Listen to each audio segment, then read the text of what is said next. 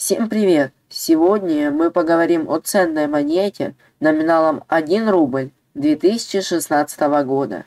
В середине января 1 рубль 2016 года уже появился в обращении, правда в очень незначительных количествах. Так как многим хотелось побыстрее увидеть монету с гербом поближе, то после этого новый рубль еще несколько месяцев продавался и покупался в интернет-магазинах по цене от 5 до 15 рублей за штуку, хотя сразу ясно было, что редкостью он не будет. Но сегодня мы поговорим о редкой монете производства Санкт-Петербургского монетного двора. В конце 2016 года стало известно о существовании четырех монет 1, 2, 5 и 10 рублей, отчеканенных в том году на Санкт-Петербургском монетном дворе.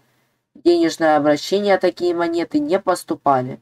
Возможно, они, как и монеты Санкт-Петербургского монетного двора 2011 и 2012 годов, являются пробными и изготовлены в количестве всего нескольких штук.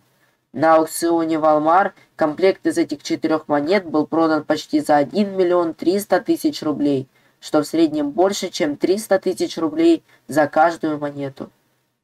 В аукционном описании было указано, что монеты медно-никелевые, но знающие люди на форумах сообщили, что речь все же идет о остальных монетах.